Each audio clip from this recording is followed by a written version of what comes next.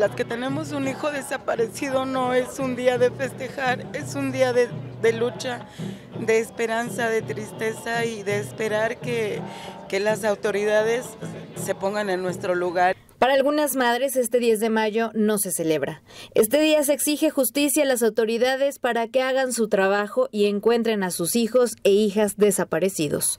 Ejemplo de ello, Cristina Domínguez, una madre que busca a su hijo Daniel Pérez desde el 2019 y quien señala que desde entonces su búsqueda se ha convertido en una lucha constante contra las autoridades. Es una trayectoria muy larga, muy triste, muy desesperante, muy agotadora, sin tener respuestas por parte de de la justicia. Desde entonces, Cristina no ha parado de buscar a su hijo y mientras recorría las calles de Puebla, se topó con una pequeña luz en el camino, el árbol de la esperanza, colocado por el colectivo Voz de los Desaparecidos se me ocurrió ir a sacar una lona de mi hijo también a imprimirla, la cuelgo en un árbol, tomo el número telefónico del colectivo, marco, no me contestan, de repente se, comunican conmigo.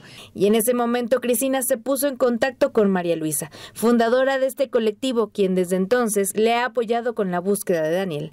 En este camino, esta madre de familia ha recibido asesorías jurídicas, talleres, búsquedas y hasta acompañamiento con los ministerios públicos. Todas, todas somos una familia ahora y todas pues caminamos juntas de la mano.